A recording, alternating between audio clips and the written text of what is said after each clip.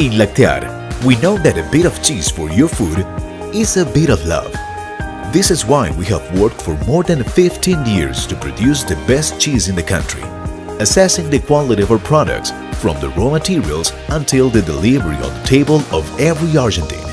In our plant located in Morteros, we produce dairy products with creativity, logistics and the latest technology for enjoyment worldwide.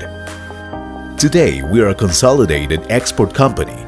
We export delicious cheeses, several types of powdered milk and whey powder to multiple markets such as Colombia, Brazil, Taiwan, Vietnam, China, Russia, among other destinations. Lactear. A bit of cheese, a bit of love.